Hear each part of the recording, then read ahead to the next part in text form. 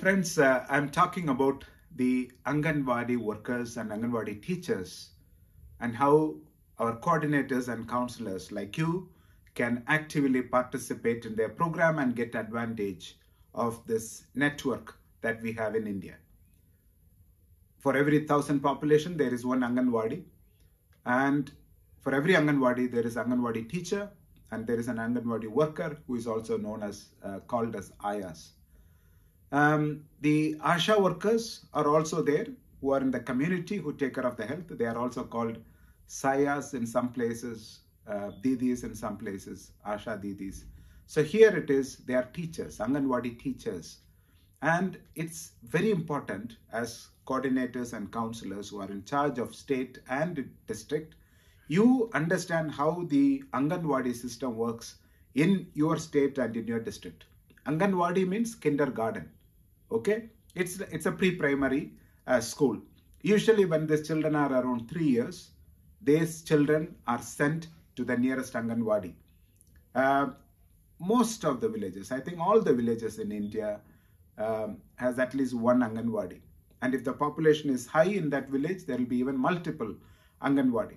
So why do we work with them? Again because anganwadi teachers understand the dynamics of the family. How many children have development delay, how many children have deficiency, disability, birth defect, they know the information like the ASHAs.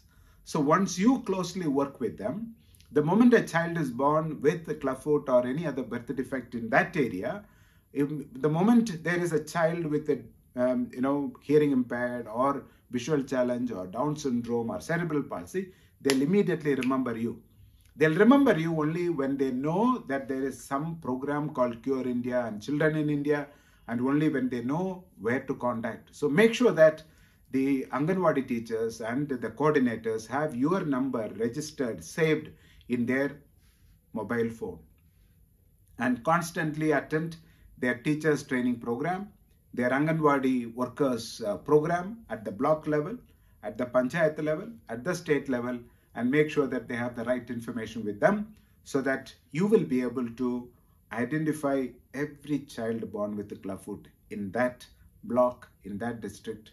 And that way, we will be able to make sure that not even one child is left without treatment for clubfoot. So working with Anganwadi teachers is uh, very important. It's a very uh, good system under the Department of Women and Child Development. Uh, there is a program called ICDS, Integrated uh, Child Development uh, uh, Service.